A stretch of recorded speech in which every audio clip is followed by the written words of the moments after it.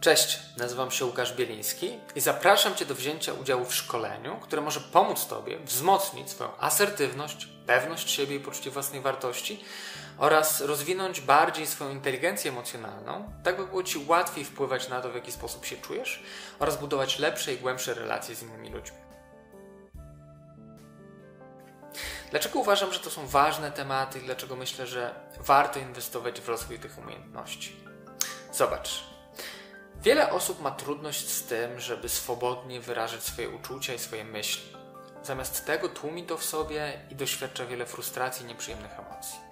Wiele osób ma trudność z odmawianiem, z mówieniem nie, ze stawianiem swoich granic, bo ma obawy, że druga strona albo będzie niezadowolona i rozczarowana, albo wejdzie w, w złość i będzie miała pretensje.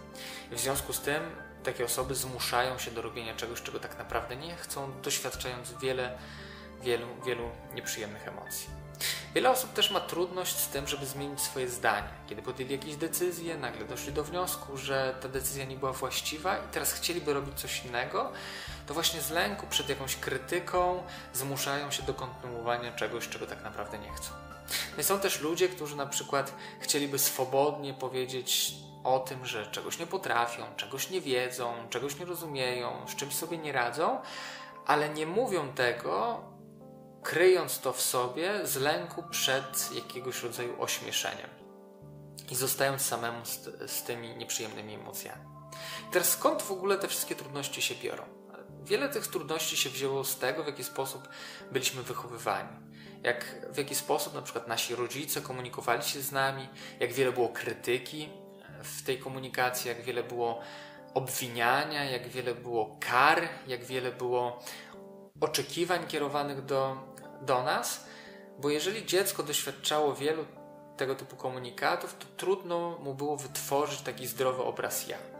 Zamiast tego tworzył się obraz, który trudno jest pokochać, który trudno jest zaakceptować, obraz, który jest wrażliwy na krytykę i obraz, który jest zależny emocjonalnie od zdania innych ludzi. I później te dzieci stają się dorosłymi i z tym bagażem idą w świat i tacy dorośli zakładają mask, starają się dobrze wypaść, starają się komuś właśnie przymilić, tylko płacą za to wielką cenę. Cenę autentyczności, cenę wolności, cenę spójności z samym sobą, życia takim, jakim się chce żyć.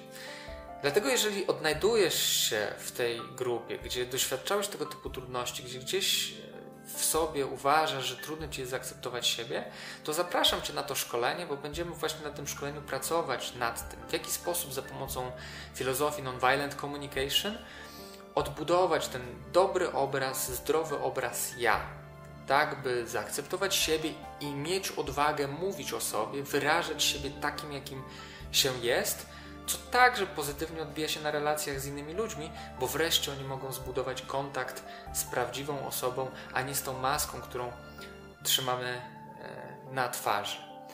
A bez tej maski też jest łatwiej żyć i swobodnie. Dlatego, jeżeli interesuje Cię ten temat i chcesz zapisać się na szkolenie, to znajdziesz informacje dotyczące dokładnej daty, miejsca szkolenia w opisie. A opis znajdziesz albo na stronie internetowej, wchodząc na łukaszbieliński.pl i klikając w zakładkę szkolenia i tam masz daty szkoleń, albo kliknij w linka, który jest, e, jeżeli oglądasz ten film na YouTubie, to jest zamieszczony w opisie filmu, albo jeżeli oglądasz to na Facebooku, to jest e, w, w, w, zamieszczony w poście e, z tym filmem. Dlatego do zobaczenia na szkoleniu i pozdrawiam. Cześć!